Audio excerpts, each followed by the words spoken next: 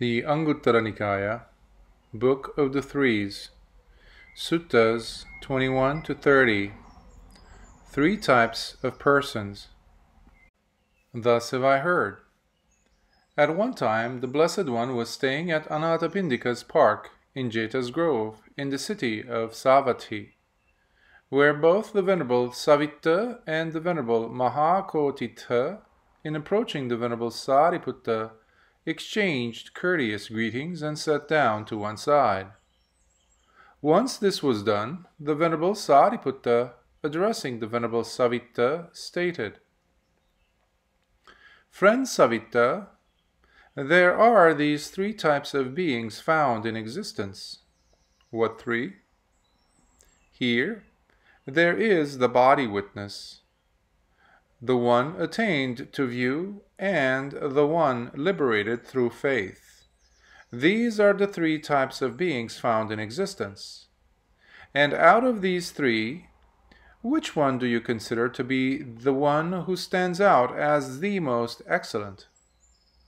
Friend Sariputta, out of those three types of beings, I consider the liberated through faith to be the one who stands out as the most excellent. And for what reason? It is because this person's faculty of faith is supreme. At this point, the Venerable Sariputta turned to Venerable Mahakotitha and said, Friend Kotitha, there are these three types of beings found in existence. What three? Here there is the body witness, the one attained to view, and the one liberated through faith. These are the three types of beings found in existence. And out of these three, which one do you consider to be the one who stands out as the most excellent? Friend Sariputta, out of those three types of beings, I consider the body witness to be the one who stands out as the most excellent. And for what reason? It is because this person's faculty of collectedness of mind is supreme. Then the Venerable Mahakotitha, turning to the Venerable Sariputta, said, Friend Sariputta, there are these three types of beings found in existence. What three? Here there is the body witness, the one attained to view, and the one liberated through faith. These are the three types of beings found in existence. And out of these three, which one do you consider to be the one who stands out as the most excellent? Friend Kotitha, out of those three types of beings, I consider the one attained to view to be the one who stands out as the most excellent. And for what reason? It is because this person's faculty of wisdom is supreme. At this, the Venerable Sariputta, turning to the Venerable Savitta and the Venerable Mahakotitha, and said to them, Friends, we each have given our ideal choice and also explained the reason behind it. Let us go and approach the Blessed Lord and report this matter to him. This way, as he explains it to us, so should we remember and apply it in our practice. Yes, friend, replied the Venerable Savitta and the Venerable Mahakotitha, and together with Venerable Sariputta, all three of them approached the Blessed One, and after paying homage to him, they sat down to one side. Afterwards, the Venerable Sariputta related the entire conversation held earlier between himself and the other two bhikkhus. Then the Blessed One said, Sariputta, it is not easy to make a clear distinction in regards to this matter by concluding that out of these three, only this type of person is the most excellent. This is the case because a person who is liberated through faith can be practicing in a way that will surely lead him to arahantship, while another person who is a body witness and someone else who has attained to view are merely once returners or non returners. Therefore, Sariputta, it is not easy to make a clear distinction in regards to this matter by concluding that out of these three, only this type of person is the most excellent.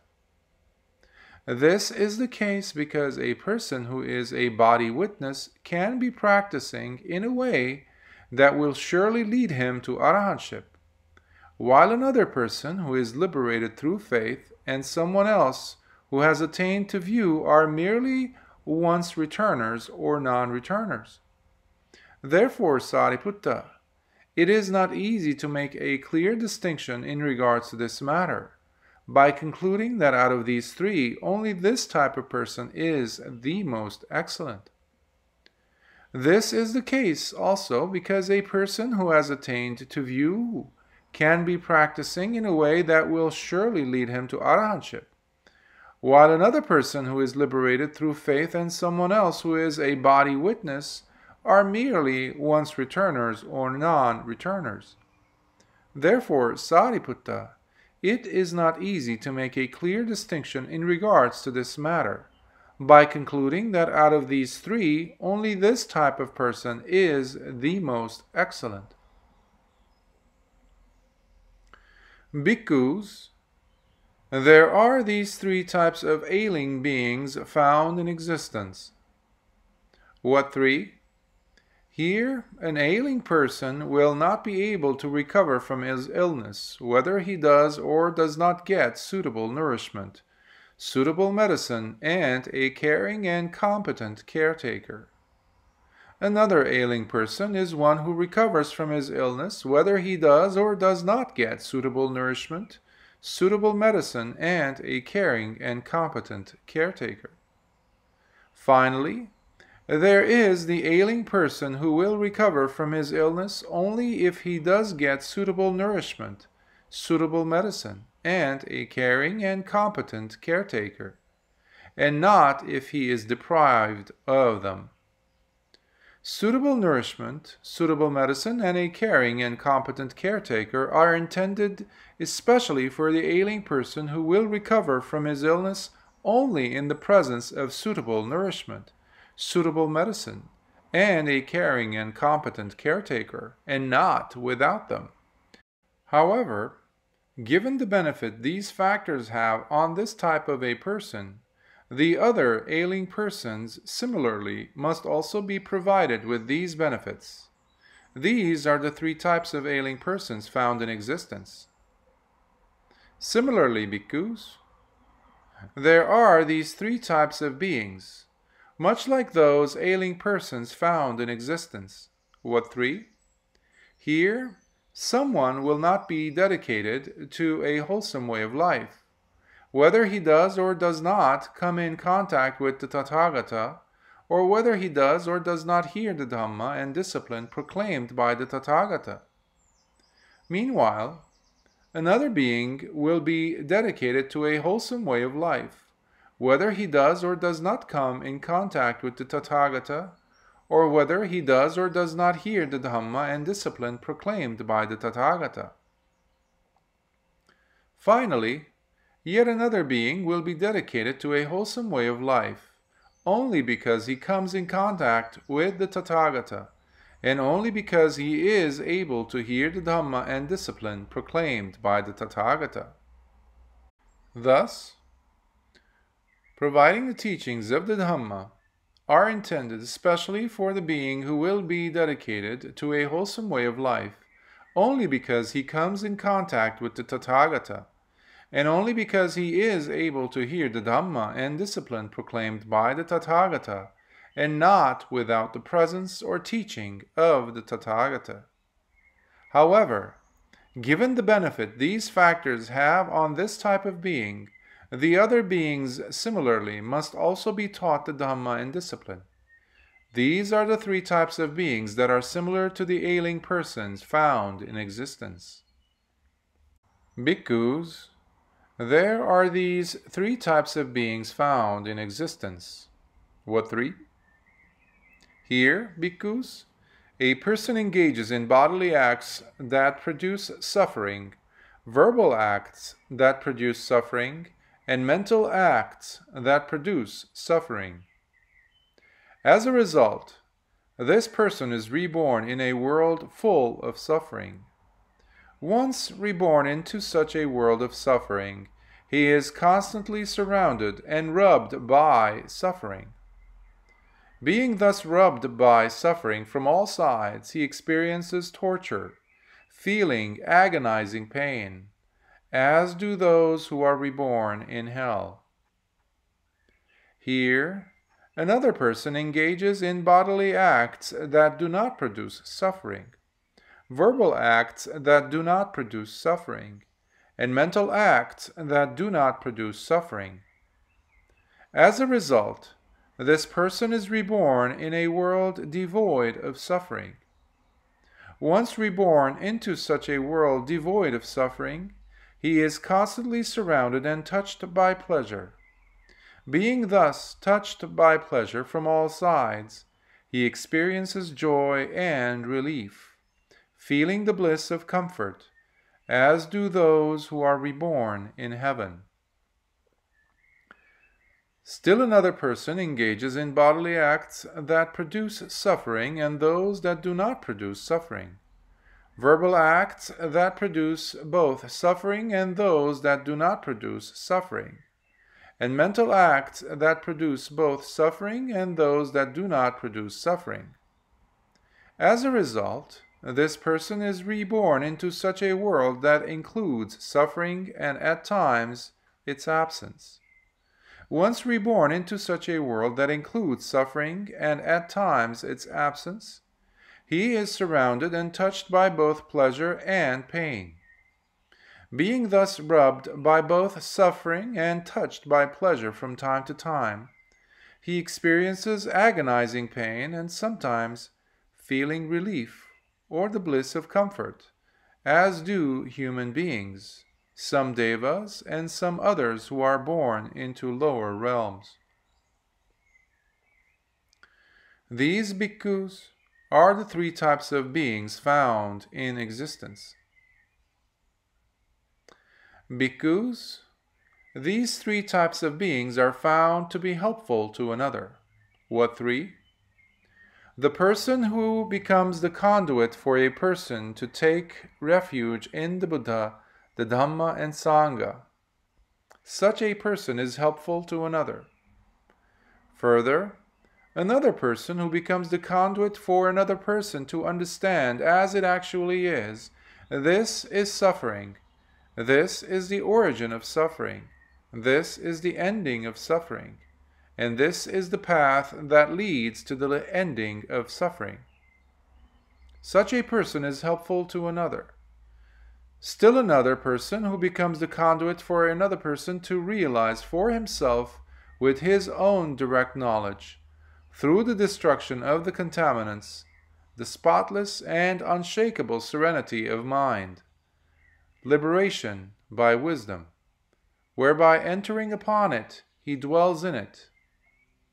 This indeed is truly a helpful person to another. These three types of beings are found to be helpful to another. Bhikkhus, I declare to you how there is no one more helpful to another than these three types of beings.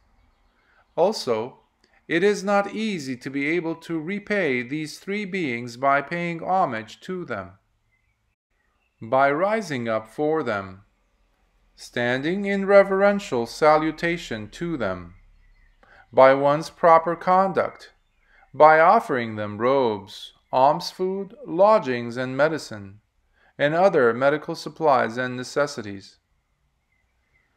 Bhikkhus, there are these three types of beings found in existence. What three? Someone who has a mind that is similar to an open wound, another whose mind is like that of lightning, and yet another whose mind is like diamond. And who, bhikkhus, is that person who has a mind that is similar to an open wound? Here, a person, being irritable, is prone to easily get enraged. Even if he were to receive a minor criticism, he becomes quickly infuriated, angry, and stubborn. In addition, much like an open wound, he stays inflamed and bitter, easily provoked at the slightest contact, much like a wound that would ooze out more stuff from it when touched. The same with his hatred and rage, with those around him having to walk on eggshells as if to avoid provocation. This is a person who has a mind that is similar to an open wound. And who, bhikkhus, is that person whose mind is like that of lightning? Here, a person understands as it actually is. This is suffering. This is the origin of suffering. This is the ending of suffering. And this is the path that leads to the ending of suffering. Much like in the darkest part of the night, when a lightning strikes, and a man with good eyesight could see its flash, in such a way that a person understands as it actually is. This is suffering. This is the origin of suffering. This is the ending of suffering. And this is the path that leads to the ending of suffering. This is a person whose mind is like that of lightning. And who, bhikkhus, is that person whose mind is like diamond? Here, a person, through the destruction of the contaminants, realizes in this life for himself and with direct knowledge the unshakable serenity of mind, its liberation through wisdom, which he abides in, dwelling in it similar to the diamond that can cut anything, whether cutting a gem, a rock, or a metal, while itself stays intact, so too, by him cutting through and destroying the contaminants, such a person realizes in this life for himself and with direct knowledge the unshakable serenity of mind, its liberation through wisdom, which he abides in, dwelling in it. This is a person whose mind is like diamond. These bhikkhus are the three types of beings found in existence. Bhikkhus, there are these three types of beings found in existence. What three? The one who is not to be engaged nor associated with, nor attended to. The one who is to be engaged and associated with, and attended to. And finally, the one to be engaged and associated with, and attended to with much honor and reverence. And who, bhikkhus, is the person that is not to be engaged and associated with, nor attended to? Here, someone is found to be one inferior to oneself in conduct, with an immoral character, lacking in virtue, mental cultivation, and wisdom. This person is one not to be engaged nor associated with, but only attended to as a result of one's loving kindness and compassion. And who, bhikkhus, is the person that is to be engaged and associated with and attended to? Here, someone is found to be of a similar or equal conduct to oneself and with a moral character, supported by virtue, conduct, mental cultivation, and wisdom. This person is one to be engaged and associated with and attended to. And why is that? It is because one considers this person is of a similar conduct to mine and with a moral character supported by virtuous conduct, and as a result of this will have a beneficial effect on us both by making us feel congruently happy as we discuss virtue. Also, our mutual dedication to mental cultivation will have a beneficial effect on us both by making us feel congruently happy as we discuss mental cultivation. Also, our mutual appreciation and application of wisdom will have a beneficial effect on us both by making us feel congruently happy as we discuss wisdom. To this end, such a person is to be engaged and associated with, and attended to.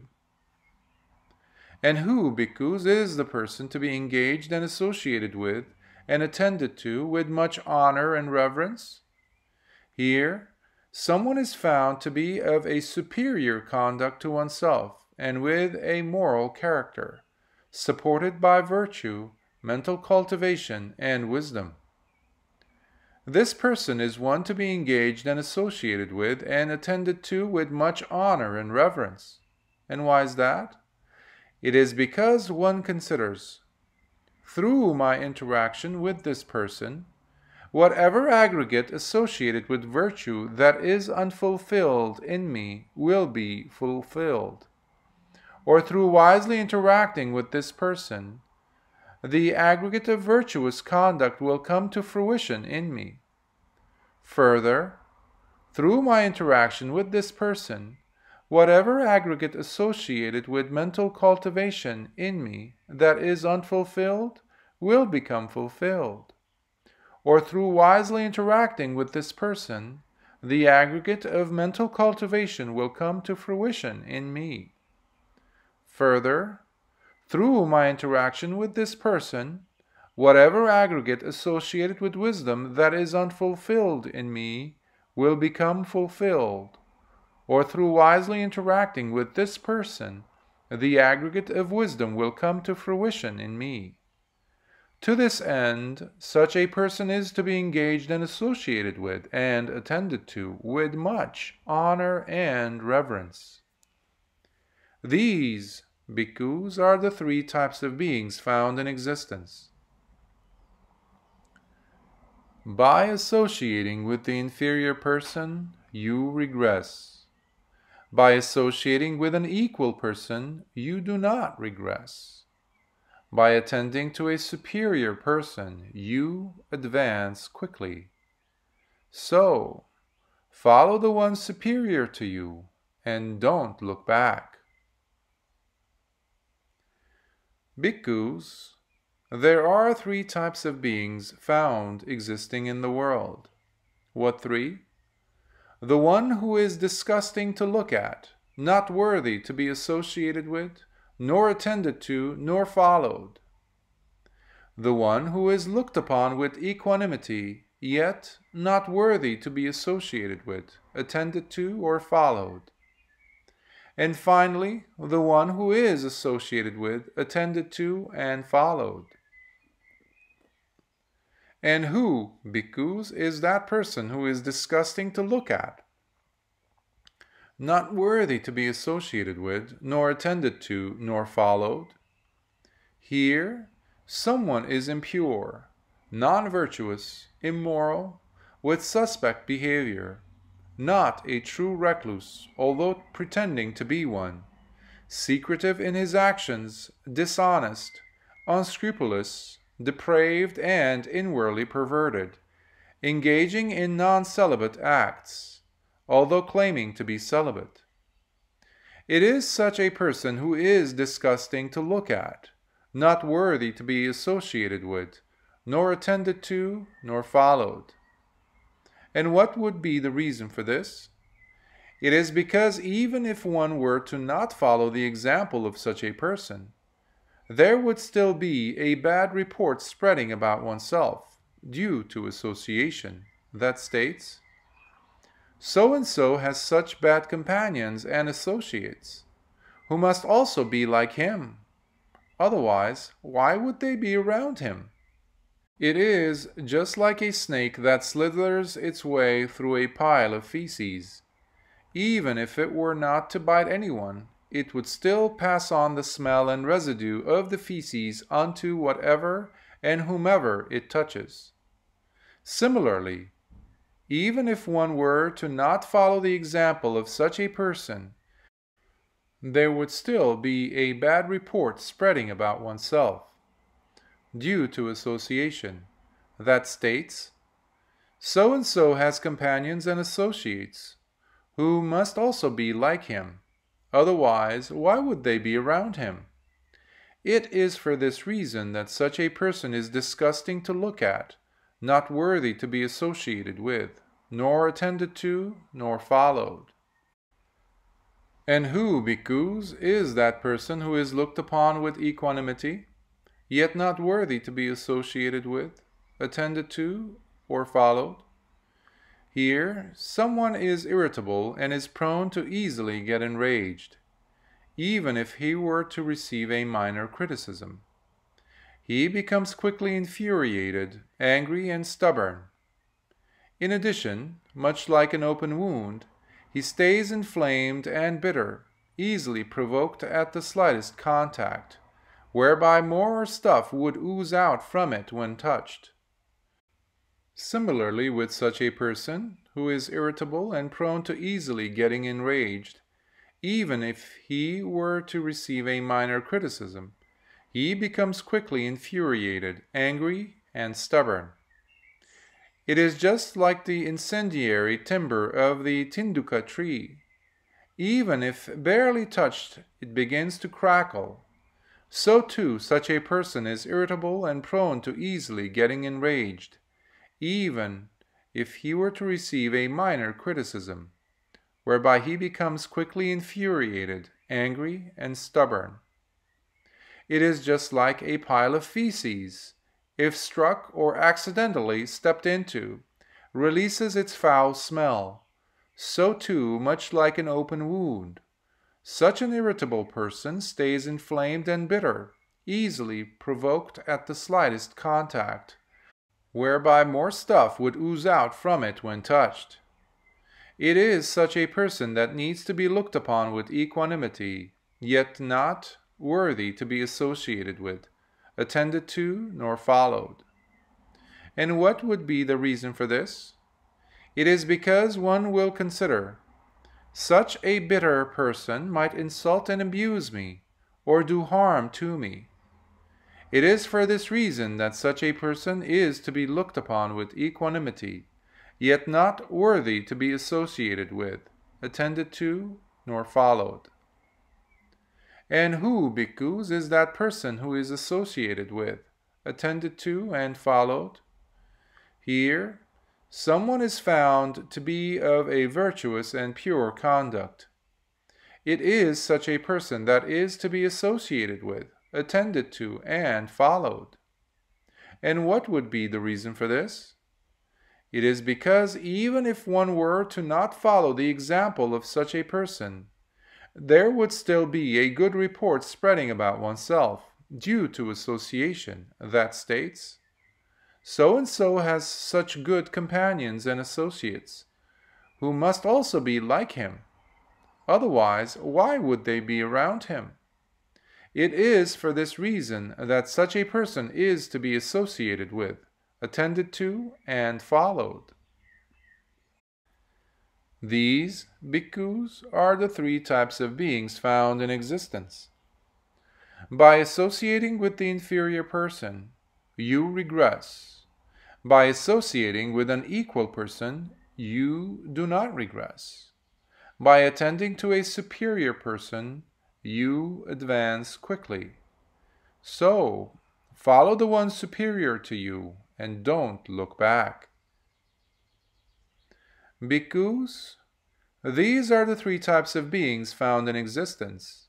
What three? The one whose speech is like that of animal dung, the other whose speech resembles flowers, and lastly the one whose speech is like honey. And who, bhikkhus, is that person whose speech is like animal dung? Here, someone is asked to show up at an assembly, or to his relatives' gathering, or to a gathering of his colleagues, or to stand in council, or to appear at the royal court, and be asked to report on a matter as a witness, thus Tell us, sir, what you have witnessed at which he states that he has witnessed what he in fact has not, or when having witnessed something he denies having witnessed it. Thus, when not having seen, he says, I have seen, and when having seen, he says, I haven't seen. Such a person lies knowingly, and speaks falsehood to secure his own ends, or those of others, or some trivial worldly goal that he has in mind. Such is a person whose speech is like that of animal dung. And who, bhikkhus, is that person whose speech resembles flowers? Here, when someone is asked to show up at an assembly, or to his relatives' gathering, or to a gathering of his colleagues, or to stand in council, or to appear at the royal court, and be asked to report on a matter as a witness, thus Tell us, sir, what you have witnessed at which he states that he has witnessed what he in fact has witnessed, or when having not witnessed, he denies having witnessed it. Thus, when not having seen, he says, I have not seen, and when having seen, he says, I have seen. Such a person does not lie knowingly, and speaks the truth not to secure his own ends, nor those of others, nor some trivial worldly goal that he has in mind.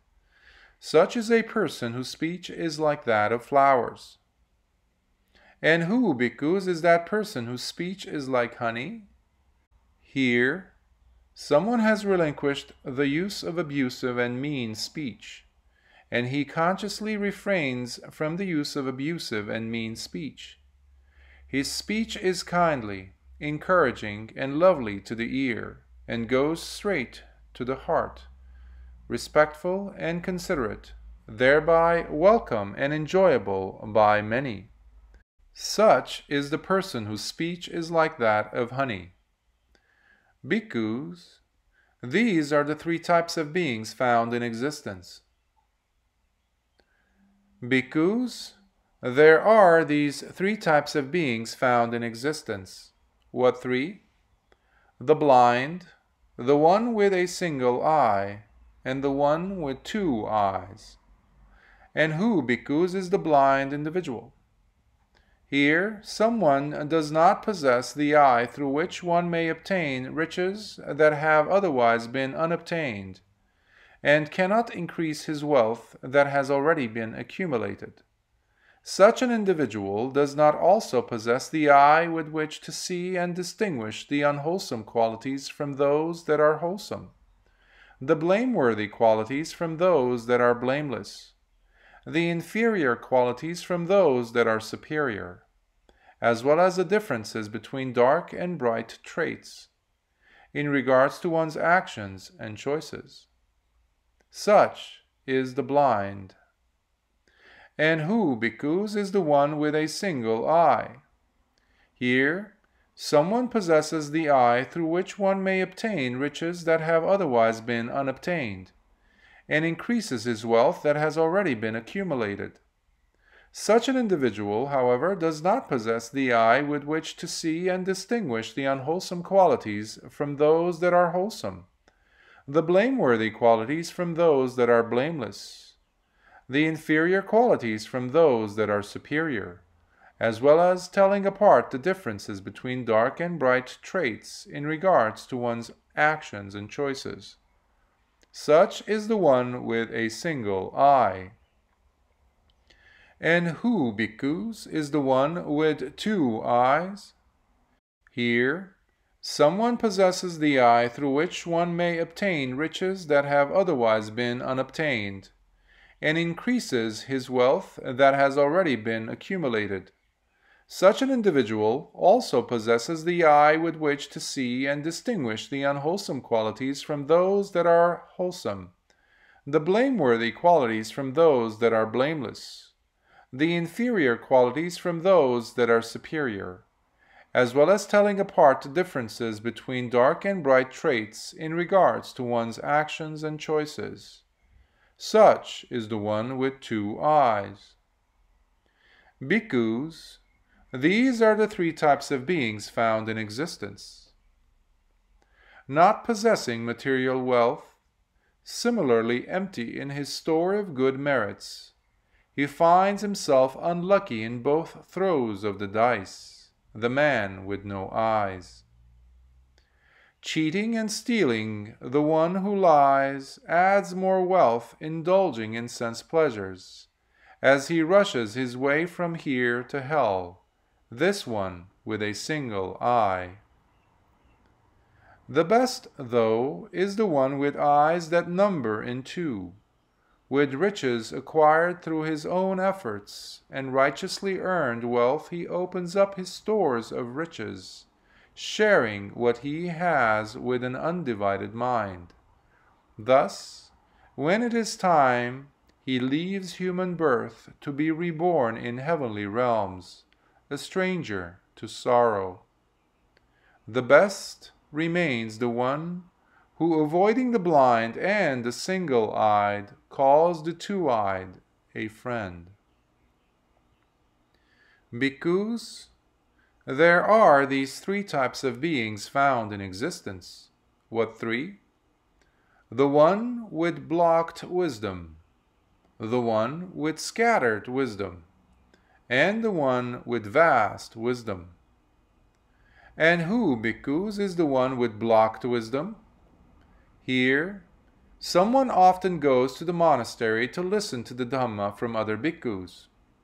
The bhikkhus generously teach him the Dhamma that is beautiful in the beginning, beautiful in the middle, and beautiful in the end, along with its correct meaning and phrasing. Having thus revealed to him the pure spiritual path that is perfect and complete. However, this person, while sitting there, does not pay attention to the Dhamma being taught, whether in its beginning, its middle, or its end.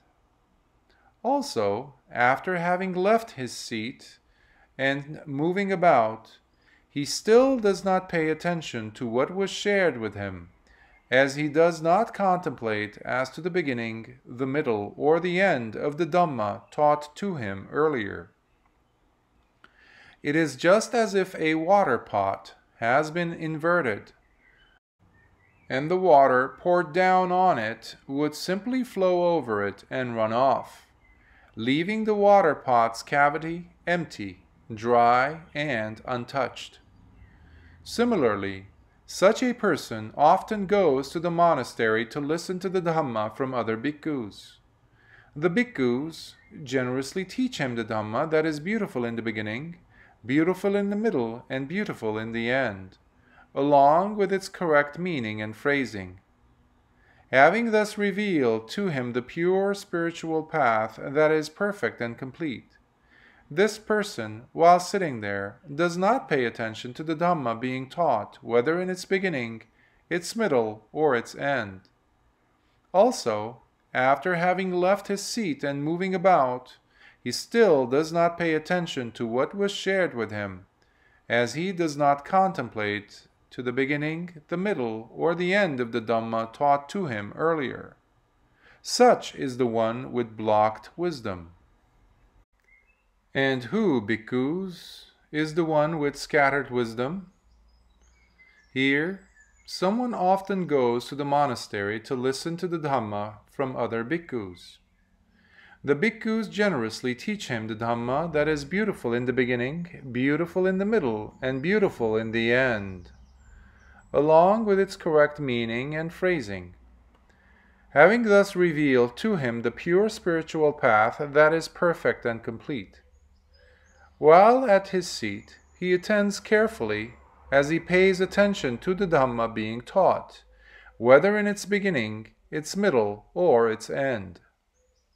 However, after having left his seat and moving about, he does not pay attention to what was shared with him, as he does not contemplate to the meaning, the middle, or the end of the Dhamma taught to him earlier. It is just as if a person with a variety of food grains tossed into his lap, such as rice grains, sesame seeds, and jujubes, whereby if he moves suddenly and without care, he would scatter those precious grains all about him. Similarly, such a person often goes to the monastery to listen to the Dhamma from other bhikkhus. The bhikkhus generously teach him the Dhamma that is beautiful in the beginning, beautiful in the middle, and beautiful in the end, along with its correct meaning and phrasing. Having thus revealed to him the pure spiritual path that is perfect and complete, he attends to carefully as he pays attention to the Dhamma being taught, whether in its beginning, its middle, or its end. However, after having left his seat and moving about, he does not pay attention to what was shared with him, as he does not contemplate the beginning, the middle, or the end of the Dhamma taught to him earlier. Such is the one with scattered wisdom. And who, bhikkhus, is the one with vast wisdom? Here, someone often goes to the monastery to listen to the Dhamma from other bhikkhus. The bhikkhus generously teach him the Dhamma that is beautiful in the beginning, beautiful in the middle, and beautiful in the end, along with its correct meaning and phrasing. Having thus revealed to him the pure spiritual path that is perfect and complete. While at his seat, he attends carefully as he pays attention to the Dhamma being taught, whether its beginning, its middle, or its end. After having left his seat and moving about, he again pays attention to what was shared with him, as he contemplates the beginning, the middle, or the end of the Dhamma taught to him earlier. It is just as if a water pot has been placed upright, the water being poured down into it, filling it up, drenching the water pot without running off. Similarly, such a person often goes to the monastery to listen to the Dhamma from other bhikkhus. The bhikkhus generously teach him the Dhamma that is beautiful in the beginning, beautiful in the middle, and beautiful in the end, along with its correct meaning and phrasing. Having thus revealed to him the spiritual, pure path that is perfect and complete, while at his seat he attends carefully as he pays close attention to the Dhamma being taught, whether in its beginning, its middle, or its end. And after having left his seat and moving about, he again pays attention to what was shared with him, as he contemplates to the beginning, the middle, or the end of the Dhamma taught to him earlier. Such is the one with vast wisdom. Bhikkhus, these are the three types of beings found in existence. The one with blocked wisdom, stupid and undiscerning, is found often visiting bhikkhus, hearing them teach the Dhamma. But from such a talk, this person misses out in grasping the meaning from its beginning, middle, and end. Being better than the former, the one with scattered wisdom also goes visiting bhikkhus hearing them teach the Dhamma. While sitting during such a talk, he grasps the meaning from its beginning, middle, and end. But after leaving his seat, the wisdom grasped leaves him as well, forgetting what was learned. Being the best of the three, the one with vast wisdom also goes visiting bhikkhus, hearing them teach the Dhamma. While sitting during such a talk, he grasps the meaning from its beginning, middle, and end.